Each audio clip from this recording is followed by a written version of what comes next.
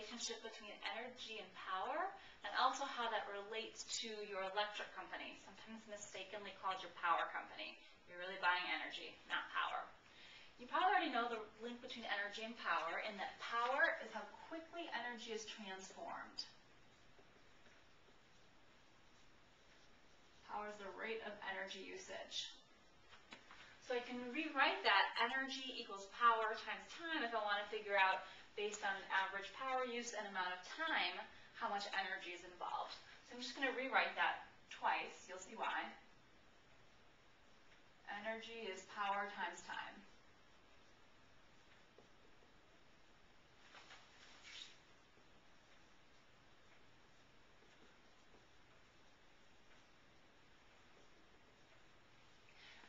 twice so we could talk a little bit about the units that are typically used for energy. And there's the units that physics teachers and physics students like to use. And there's the units that the energy company likes to use when they sell you electricity or energy. Um, in physics, the physics units we use for power are watts, which is equivalent to joules per second and the units we use for time are seconds. And so our energy comes out to be in joules. Uh, your um, electric company, your power company, if you will, actually uses different units. In Chicago, our company is ComEd, um, and ComEd doesn't use uh, joules as their designator for energy. They use their units, so this is the um, energy company units,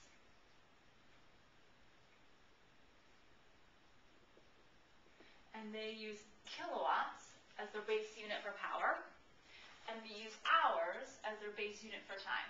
So not your standard physics units, which means when you multiply those together and you get energy, the units for energy that they use is kilowatts times hours. People often say kilowatt per hour. That's not the correct it is. Kilowatt times hours, and that's a, a unit of energy, not a power of energy. So let's see how using these units can help you interpret your electricity bill and can help you figure out some, some ways to solve problems. I've got a couple examples here that I want to work through with you. They're related examples. Example one says you have a 600 watt appliance in your home and you leave it on for 30 minutes. How much energy did you need to purchase from the electric company to run that appliance? And then example two is related. We want to know how much it's actually going to cost you to run this 600 watt appliance for 30 minutes.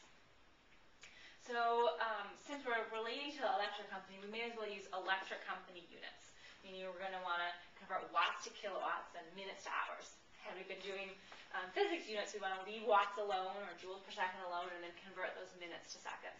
But this is all about the electric company, so we'll use their units.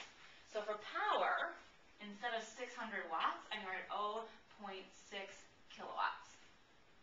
And for time, Instead of 30 minutes, I'm going to convert that to hours. That's half an hour.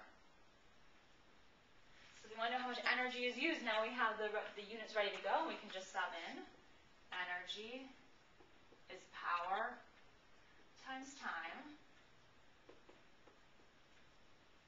The power is 0.6 kilowatts.